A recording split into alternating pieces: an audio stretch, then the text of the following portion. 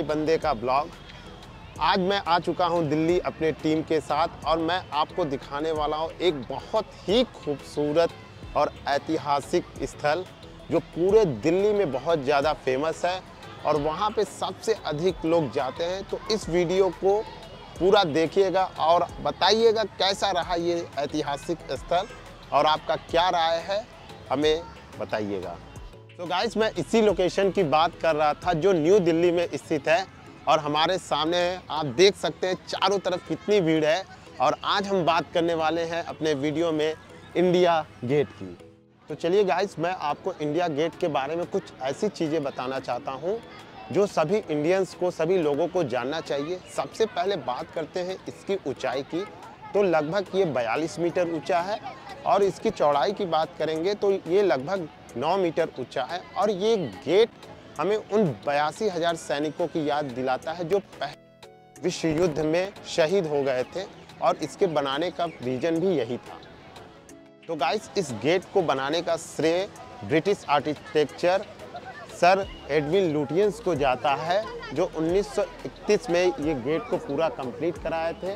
और अगर आप ध्यान से देखें तो इसके दीवालों पे उन बयासी हज़ार सैनिकों का नाम लिखा हुआ है, जो उस समय शहीद हुए थे। तो कहीं ना कहीं ये गेट हमें उन शहीदों की याद दिलाता है, जो अपने कर्तव्य के लिए अपने जान की सेक्रीफाइस कर दिए।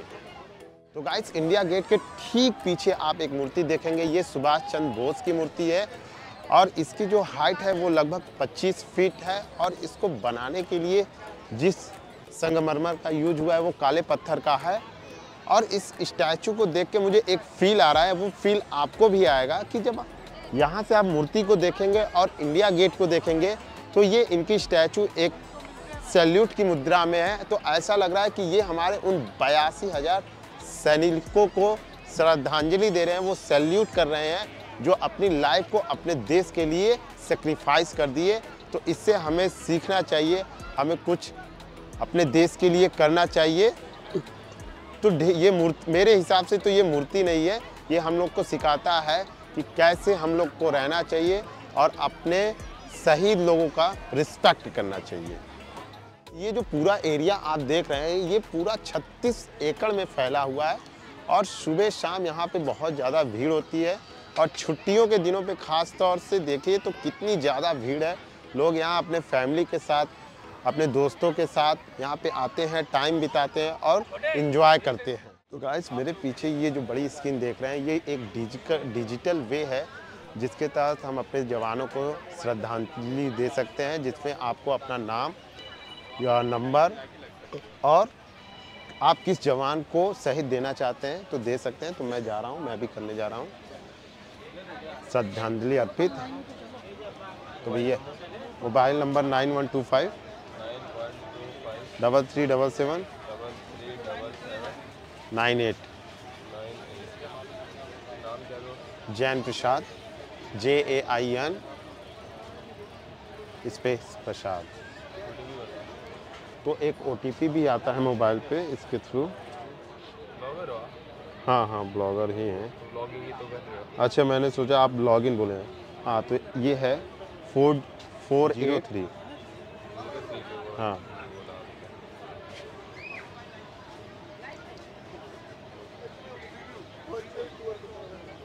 ऑल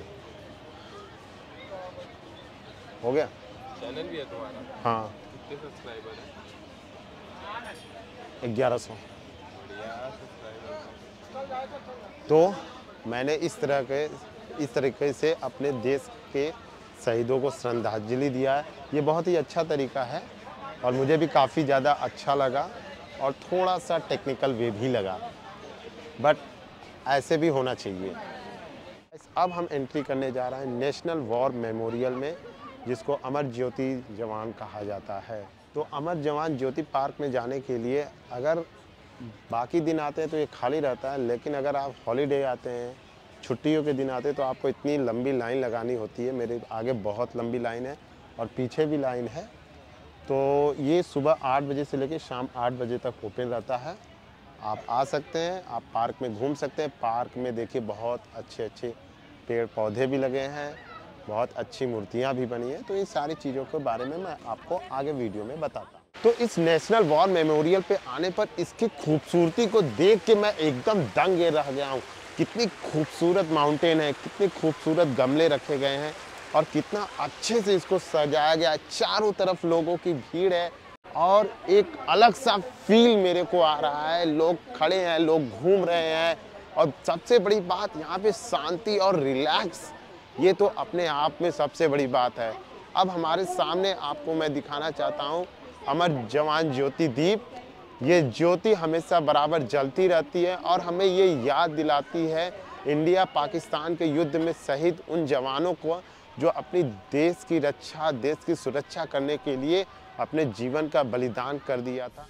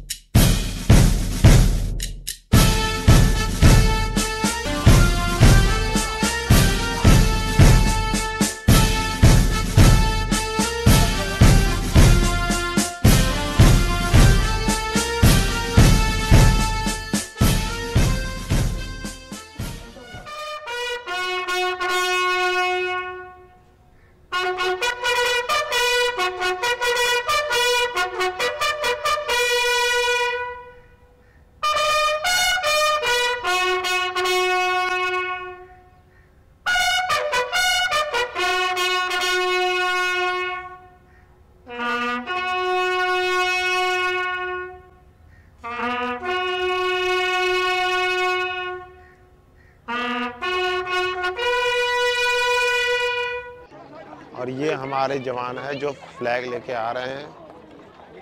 क्योंकि श्रद्धांजलि देने के बाद फ्लैग को उतार दिया जाता है, फिर उसको वही स्थान पे अच्छे से रखा जाता है। देखिए किस प्रकार से ये लोग फ्लैग को लेके आ रहे हैं और लेके जा रहे हैं।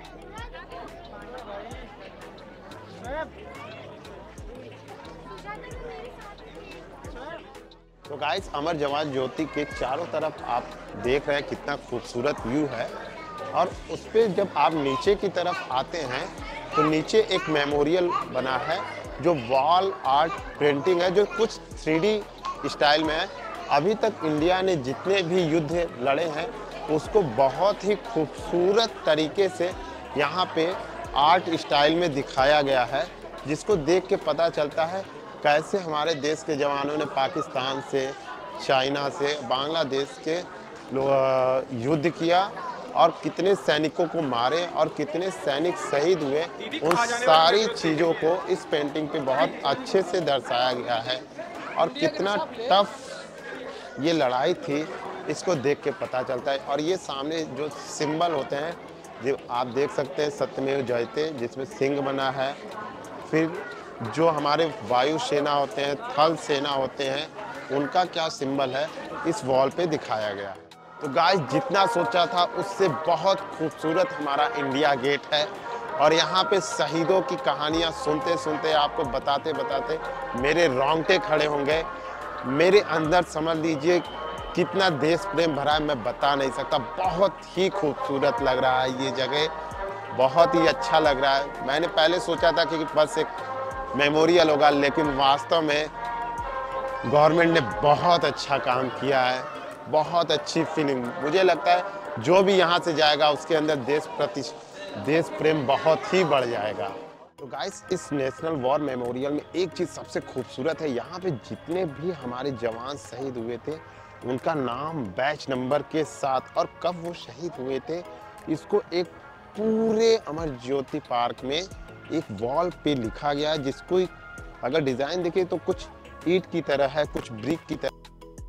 नाम लिखा गया, मैं कुछ नाम आपको पढ़ के सुनाना चाहता हूँ, जिसमें वीर सिंह, पूरन सिंह, मधु सुदर्शन, राजेंद्र सिंह बिस्ती, वीरेंद्र सिंह एच बी थापा, दिनेश प्रसाद, ऐसे महान सोल्डर हैं, जिनका नाम यहाँ पे लिखा गया क्योंकि हमारे कुछ लोगों का नाम, जैसे विक्रम बत्रा हो गए, मनोज पांडे हो गए, इनका नाम आपको पता होगा, लेकिन ऐसे जवानों भी हैं जिनका नाम किसी को नहीं पता, लेकिन वो अपनी लाइफ को, अपने देश के नाम कुर्बान कर चुके हैं। तो यहाँ पे आने पे आप उनका नाम पढ़ सकते हैं, उनके बारे में जान सकते हैं।